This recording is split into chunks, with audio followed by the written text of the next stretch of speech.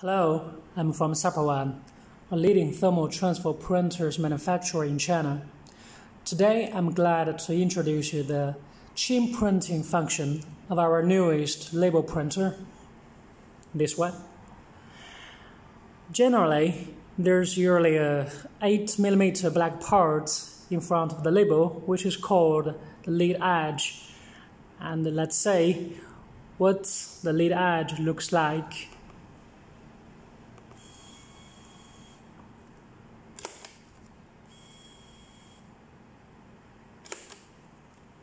Okay, you can see that.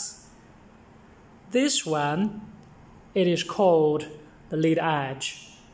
We could print something more.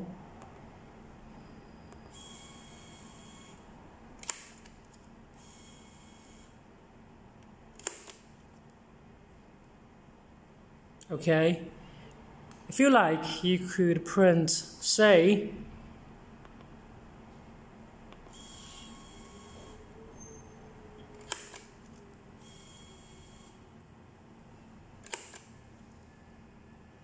Well, you can see that we have printed three times ABC with three pieces of the lead edges and it is a waste of the tapes. So we create this function, the chain printing function, in order to save the tapes. Okay, in the menu, we could find the chain printing here. Okay. Uh, let's have a try. A.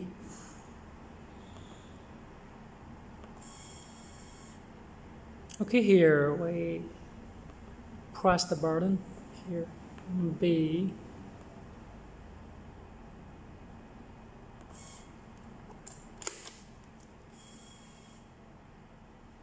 Okay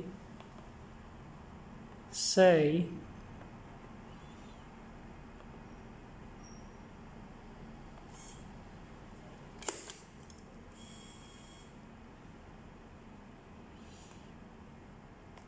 I choose completed.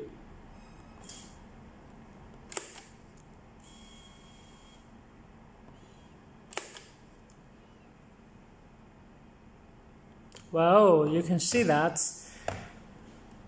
under this circumstance, we have printed ABC and only with one piece of the lead edge.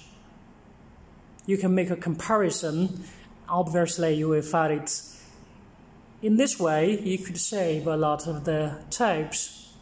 Okay, thanks for your listening. And next time, we will talk more about the new functions about uh, this new printer.